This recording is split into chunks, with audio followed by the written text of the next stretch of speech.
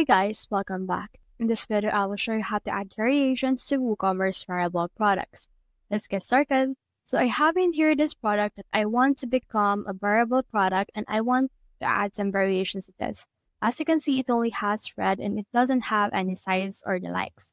So what you can do in order to edit it out is to just head over right here to your products on your WooCommerce dashboard and then you should be able to just locate the product. So this is the product right here.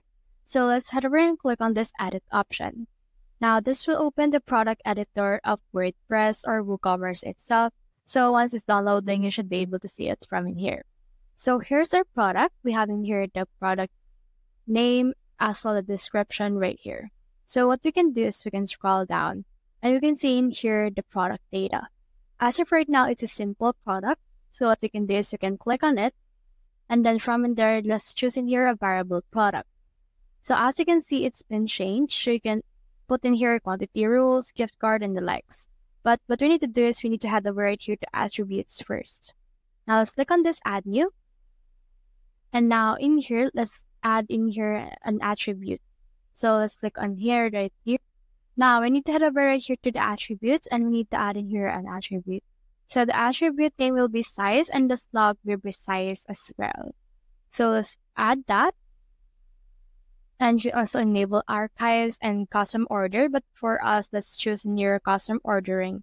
And then from in there, click on this add attribute. Once this attribute has been added, we should be able to just save it as is. Now in having here this, so you can also configure the terms if you want as well. Now you can also edit it out if you want it to be. Now let's head over right here to our products and let's go back to the product that we're editing earlier. So let's scroll down until you can see it. Here it is.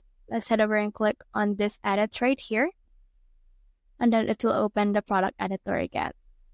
Now on the attribute right here, as you can see, I have added size. So you can also add new attribute if you want as well. But once you have done that, make sure to save your attributes that you have added right here. Next thing you need to do is just head over to variation and you can head over and then just generate your variations right here. So I have generated my variations with this XS, S, M, L, XL. And then you can also edit it out in order to change the actual price for each of them.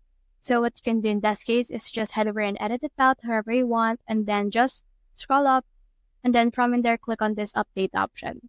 So that's the whole process. If you have found this video helpful, simply leave a like, share, subscribe because I'll reach more people. See you soon.